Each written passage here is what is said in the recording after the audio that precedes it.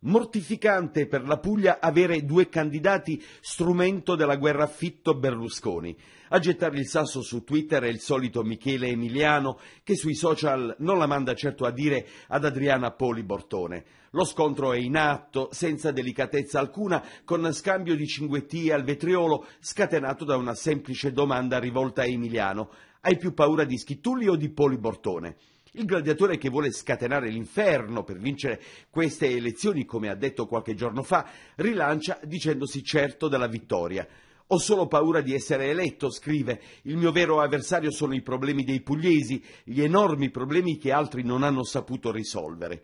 A quel punto la replica della Poli Bortone non si fa attendere. L'ex ministro lo accusa di corresponsabilità negli anni di governo Vendola.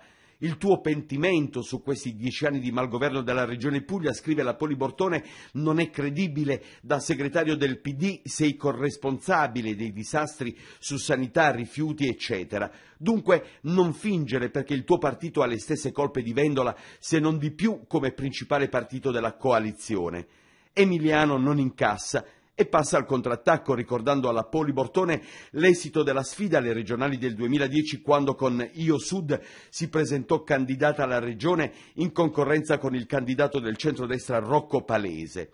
Sei tu che hai fatto vincere Nichi Vendola, tuona Emiliano, e devi pentirti di, di, ciò che hai fatto. Io non c'entro, ero sindaco di Bari. Un assist perfetto per la Polibortone che nella circostanza sfoggia un'ironia al vetriolo. Pensavo che a far vincere Nichi Vendola fosse stata la tua forza. Se mi dici così vuol dire che sei deboluccio.